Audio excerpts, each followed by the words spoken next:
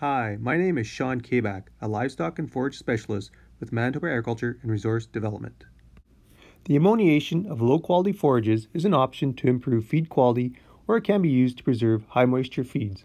Ammoniation will increase digestibility 10 to 30%, protein can double, and intake can increase 10 to 20%. Ammonia is added at 3 to 5% to improve protein or at 2% when used as a preservative. In the fall, producers should take an inventory of feed supplies and livestock numbers. When feeding straw to cattle, supplementation with energy and protein is required. Straw quality varies between cereals, legumes, and oilseeds. When feeding low quality roughages, compaction can occur, especially in cold weather when consumption increases. In the fall of 2020, a forage ammoniation project was carried out. Five different feeds were ammoniated, including wheat straw, wheat chaff, canola chaff, wild hay, and mature alfalfa grass hay. Bales were stacked in a 1 2 3 pyramid style, which works the best.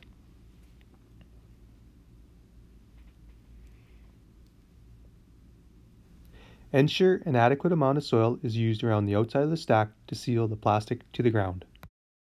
Always use caution when injecting, disconnecting, and uncovering the stack and be sure to wear protective gear. Make sure all connections are secure. The pipe needs to be taped well to the plastic before starting to inject the anhydrous ammonia slowly into the forage stack. Once the valves are opened up, the anhydrous will be released into the stack, the stack will start to pressurize, and the plastic will billow out.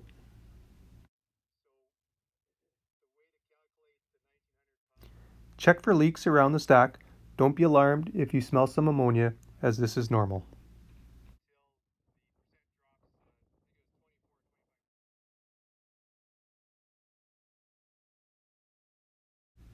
After the desired amount of anhydrous has been injected into the stack, close all valves and wait until the pressure in the stack drops before removing the injection pipe.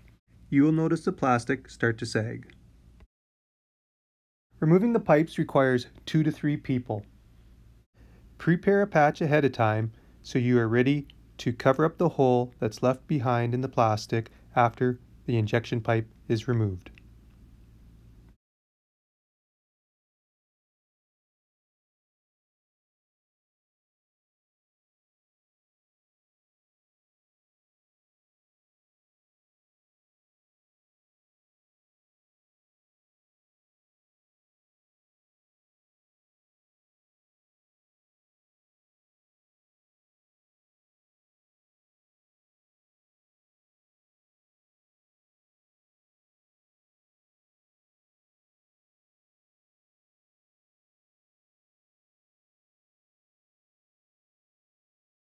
Temperature determines the speed at which a reaction between ammonia and the feedstuff occurs and affects the improvement in digestibility.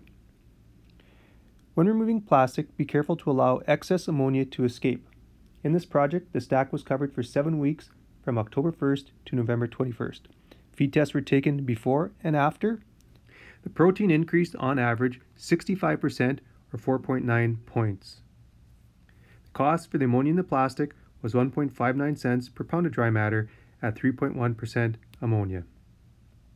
After plastic removal, allow several days before feeding the forages. When forages are ammoniated properly, they are palatable and can be a cost effective strategy of extending your feed supplies. Thank you to our cooperator, Bruce Sneesby, for participating in the project.